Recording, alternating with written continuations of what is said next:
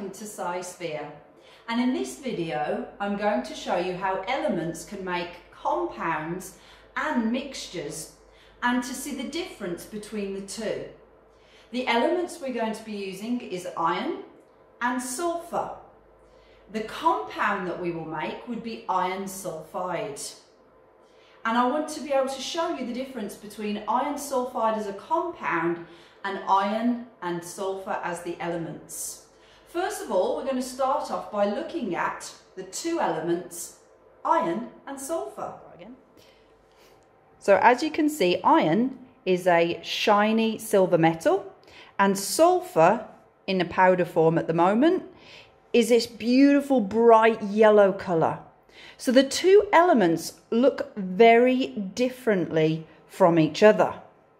So if I just zoom out a little bit, there we go. What will happen when I mix the iron and sulfur together to create a mixture?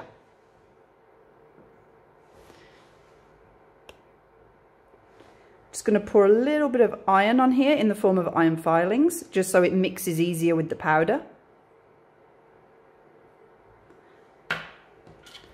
Take a spatula and if I mix them, these two elements have now formed a mixture, which means they should still be able to be separated. At this moment in time, a chemical reaction has not occurred.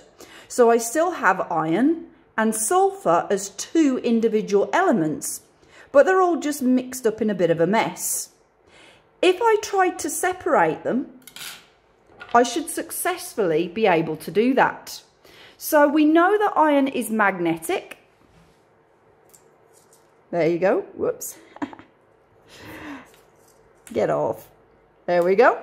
Um, so if I'm able to extract the iron filings out of the sulfur using a magnet, the two elements are then going to be separated again. I'm just going to put a little bit of tissue paper around my magnet so that uh, I can get the iron filings off easy again. But as you can see, beautiful. Most of those iron filings have now been separated out of the iron and sulfur mixture. So just put that to one side for a second. On a molecular level, what is happening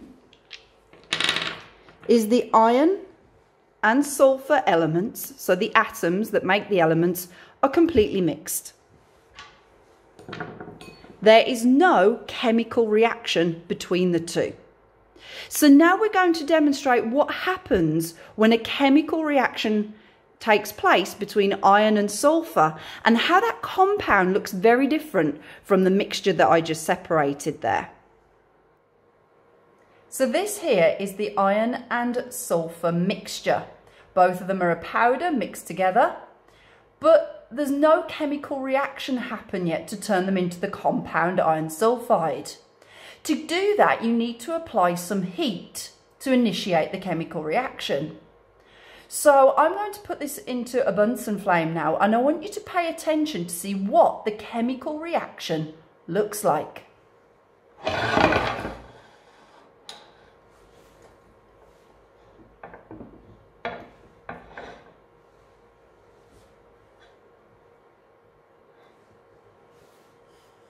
Okay, here we go.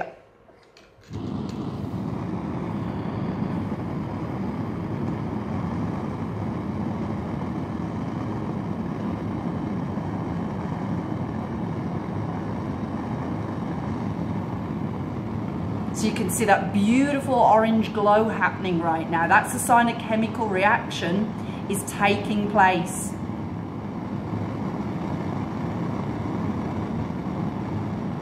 Okay, just heat it a little bit more just to be sure that everything has reacted.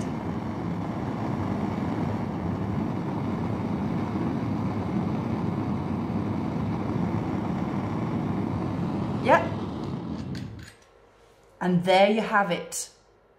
Iron sulfide, a compound made from the two elements iron and sulfur. Now I need to be able to get it out the glass so you can see the appearance of this newly made compound. So I broke open the test tube and the iron sulfide compound came out. And as you can see, it's a dull grey material. Not shiny like the iron, not yellow like the sulfur, because now a new material has been made and so there are new properties. The last property to test is the magnetic ability. So I have my magnet and as you saw earlier, I used that to extract the iron from the mixture.